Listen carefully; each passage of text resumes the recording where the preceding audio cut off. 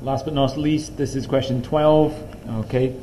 Um, we're talking here about ultrasound, which is a method of, of measuring depth. Okay, it's also used to look at um, unborn fetus in, inside the uh, uterus. However, we're using it here to detect the depth.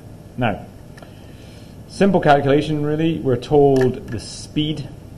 Notice that this is a higher speed than in air. Okay, it's because of our liquid particles um, are closer to are closer together than in air, and we're also told a time. Okay, 1.2 seconds. Not really sure why they've decided to go for the full word rather than just the, the unit.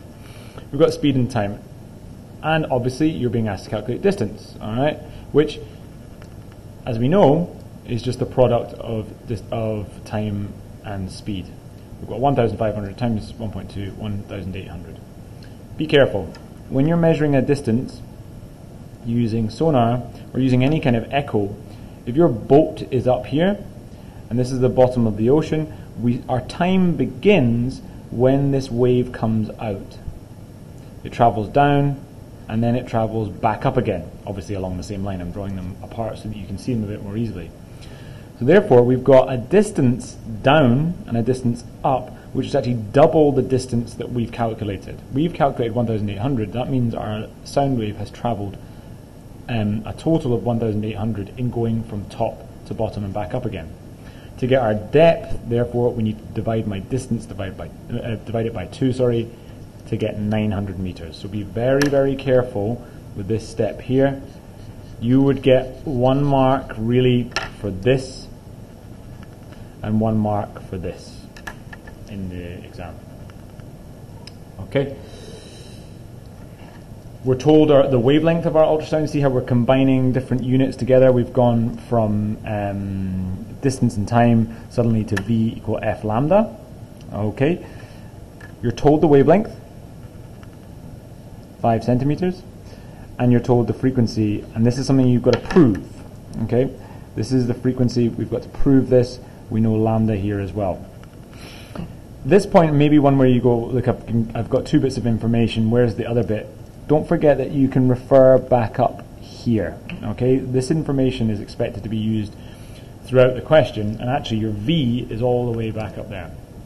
We're told um, V, we know lambda, we want to prove F, and it's better had be this number here. Now this is where you might come into some trouble, because if you simply take our 1500 and divide it by 5, then you will not get this number. You will get a, a number which is too small. Yeah, it will give you up to 5, it will give you 300.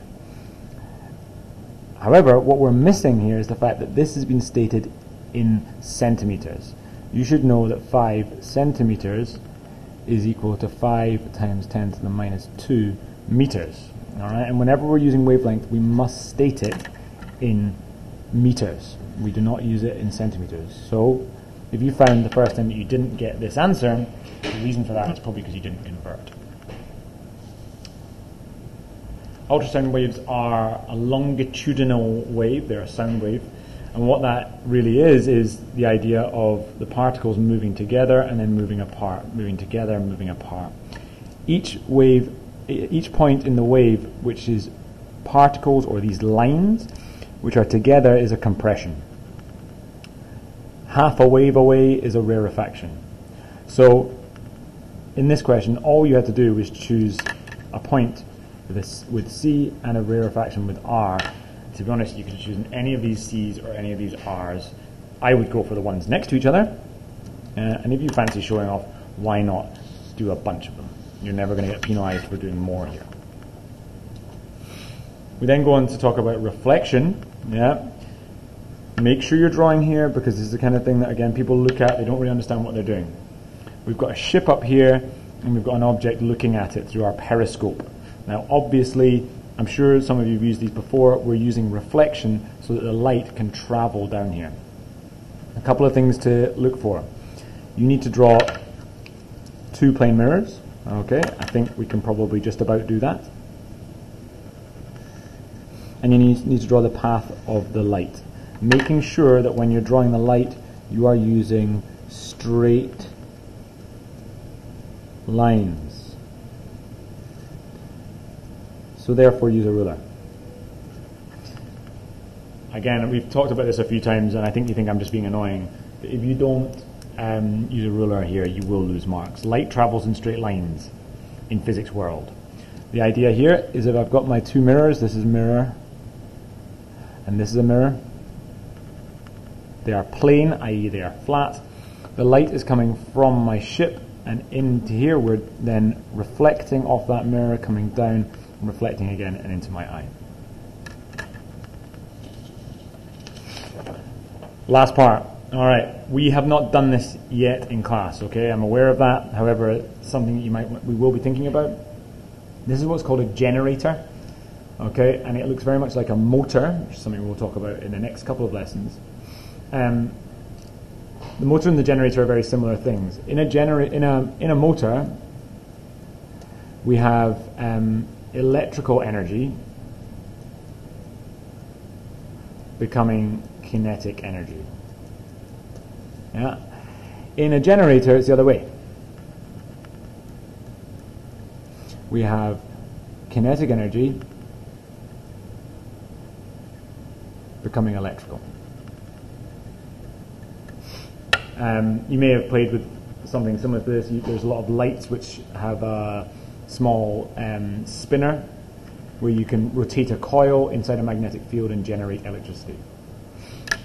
Just for now, be happy with the fact that these things here, yeah, these things Z, they're called slip rings.